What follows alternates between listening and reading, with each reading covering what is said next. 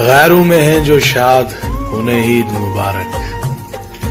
जिनको नहीं हम याद, उन्हें ईद मुबारक।